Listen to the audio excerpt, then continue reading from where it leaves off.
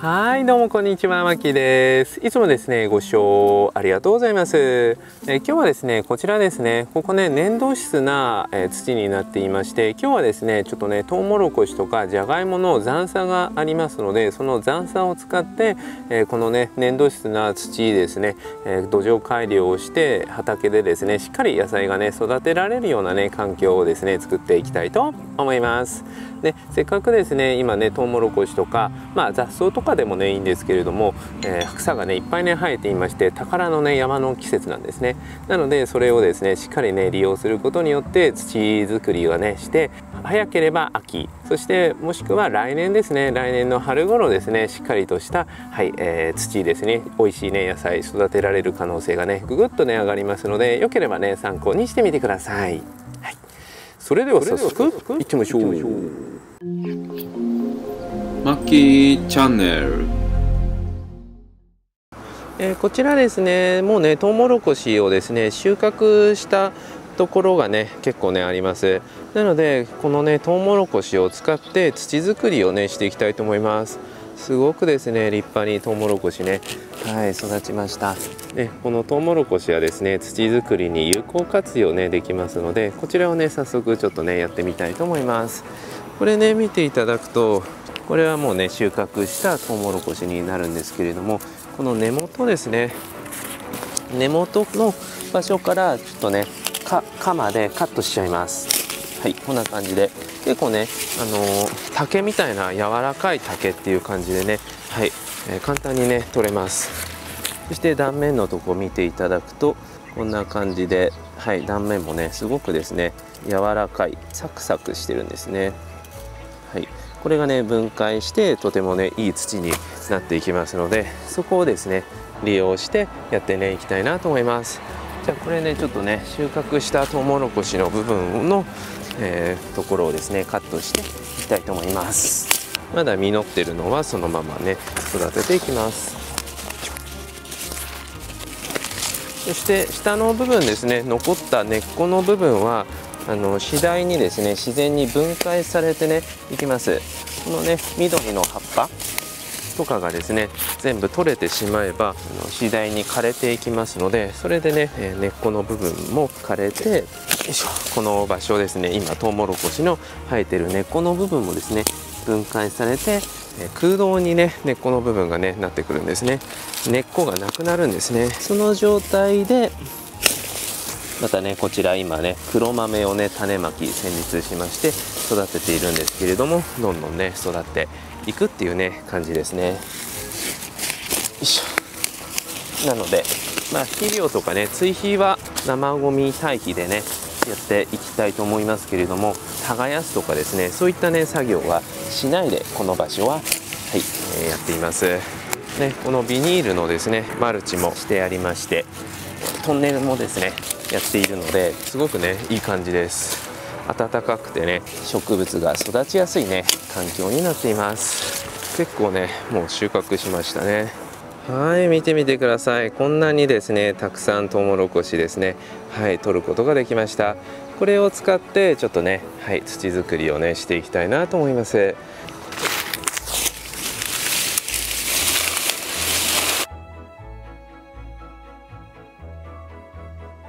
はい。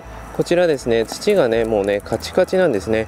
なのでこのね土をですね改良するためにここですね以前ネギが植わっていたところになりますけれどもここに溝を掘りまして土ですねしっかりねカチカチにならないようにね、はい、改良していきたいなと思います。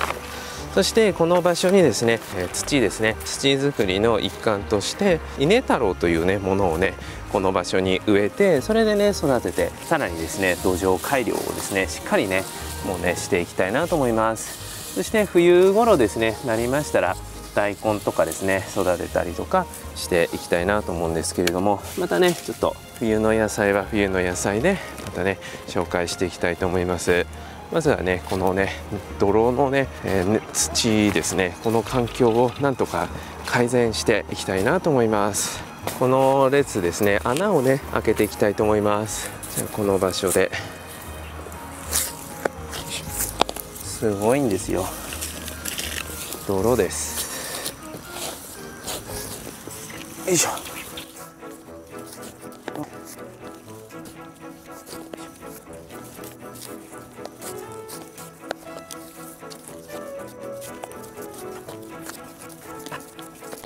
よし。はいいけましたね。穴ねちょっと掘りました。もうちょっと綺麗にね掘っていきます。ね見ていただくとねすごい粘土質な土になっています。そしてこれからね雨が降るということなのでこの場所にですね今先ほどね取ったトウモロコシですね入れていこうと思うんですけれども雨でもね土とねしっかりと混ざって分解ねされやすくなりますのでそんな感じでねやっていきたいと思います。はい来ました。どうでしょうか？穴ね開けられました。あとプラスですね先ほどじゃがいももですね収穫しましてじゃがいもの葉っぱもですねこの場所にパラパラパラとね巻いていきたいなと思います。じゃがいもの葉っぱもね、えー、これ分解されればいいね堆肥になってねいきますのではい。ちょっとねやっていきます。なのでちょっと多めにですねいろんな野菜くずですね入れていきますので今年いっぱいはですねこの場所は、えー、土作りっていう形で、ね、作物はね育てるには来年ですね来年の春頃ですね育てていこうかなとも思っています。そして今ね収穫しました。トウモロコシですね。トウモロコシの葉っぱもこのように引いていきます。はいこんな感じですね。結構ねトウモロコシですね。量があります。入れつつですねこの場所を踏んでいきます。ちょっと砕きます。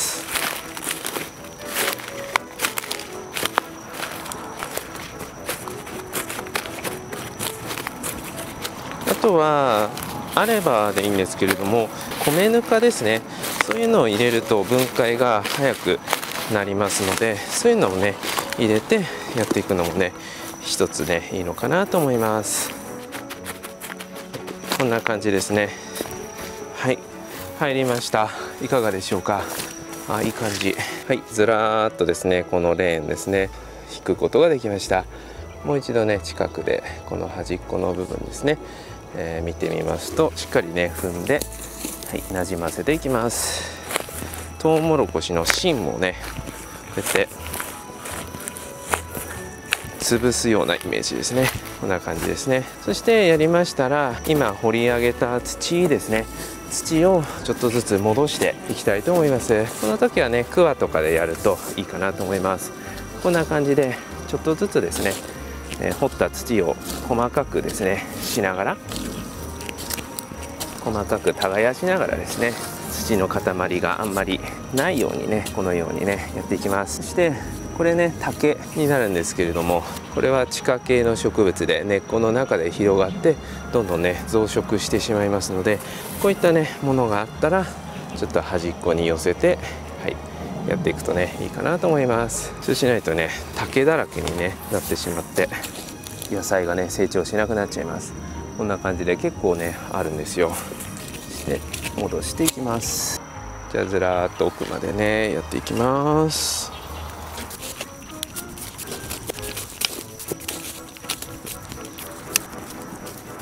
よしはいできました。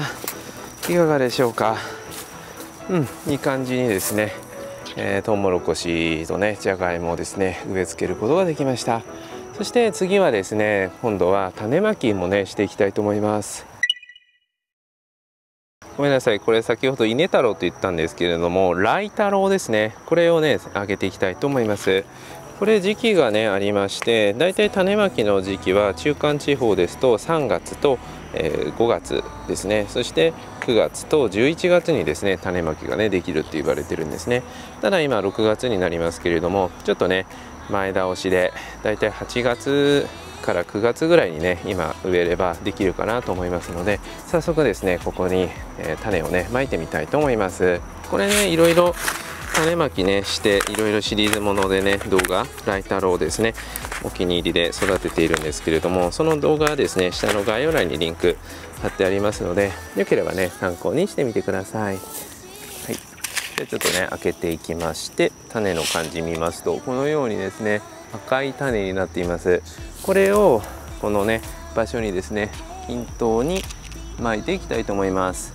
でパラパラパラパラってパラパラパラってね今ねトウモロコシを入れたところですね。この場所その場所にずらずらっとね種をね巻いていきたいと思います。ずらずらずらずらずら。結構ねこの1袋で5平方メートルなので2メートル ×2 メートルとかですねそのぐらいの間隔で、えー、っとできる距離ですね。2.2メートルぐらいかな。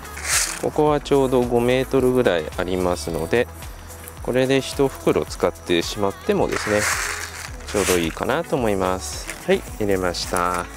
ではですねこれ今ねできましたのでこの上からですねちょっと土をねかけていきたいと思います。これで雨もね明日降るということなのでねうまくね当たって発芽ねされますねこの場所上にですねまだね掘った土半分ちょっとだけね残っていますのでねこちらに戻していきたいと思います。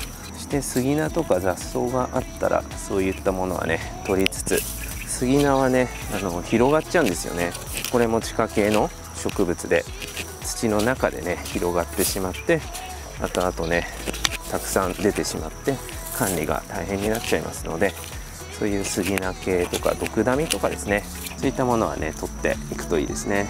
近くで見てみますとこれが杉菜ですね。はいこちらがね杉菜っていうね植物になります。こんな感じでね根っこがね生えましてあとこれが毒ダミですね。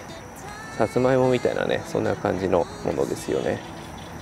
毒ダミになります。こういったものはね弾いておきます。よしはいできました。でこんな感じでね全部ね種もね土で隠すことができました。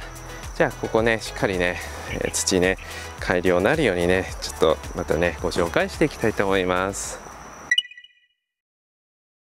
はい見てみてください。あれからですね1ヶ月ほどね経ちましたけれどもこのね細長いものですねこれがライメ太郎というねものになります。はい。こんな感じでねちょっとずつね大きくなってきています。ちょっとね水不足で枯れ気味なね部分もありますのでお水もねあげながらですねこの場所ですねしっかりね育ててはいよりねいい土にねしていきたいなと思います。ねこんな感じでちょっとね竹のやつもですねちょっと生えてきていますのでこういったね竹の葉っぱはですね出てきたら根元からですねポキッとね折ってね取って、えー、ね、よりね他の稲太郎がですね大きくなるようにね設置をしていきたいなと思います。楽しみですね。はい、いかがだったでしょうか？ね、こんな感じでですね、はい、えー、ね、数日経ちまして、ちゃんとね、芽が出てきました。